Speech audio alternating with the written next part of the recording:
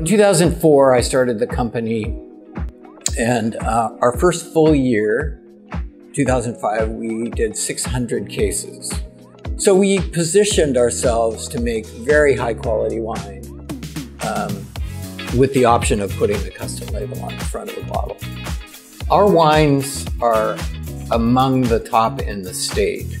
Um, in BizX, we've done uh, 50,000 a year, which, you know, it's, it's less than 10% of my business, but, you know, it was significant and, and incremental, which is key because I wouldn't have got that business otherwise. So I've done a lot of different things over the years with the BizX dollars. The obvious benefit is saving cash. We did, uh, we did a big remodel here a few years ago. All this furniture, which is pretty expensive, came from Greenbaum, and that was BizX.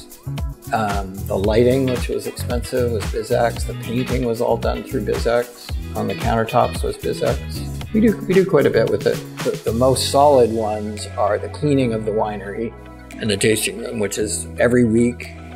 Um, and then the SEO. I mean, I recommend it to people all the time.